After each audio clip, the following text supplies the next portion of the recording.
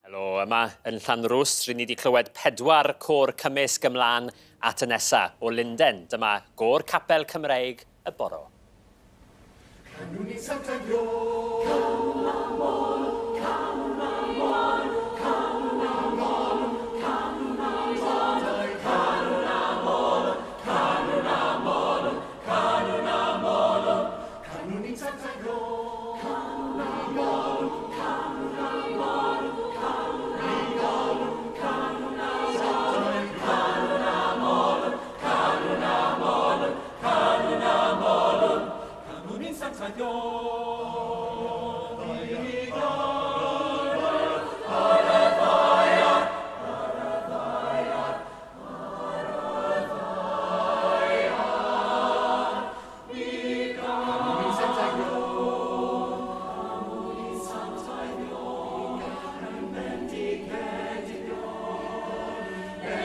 Yeah.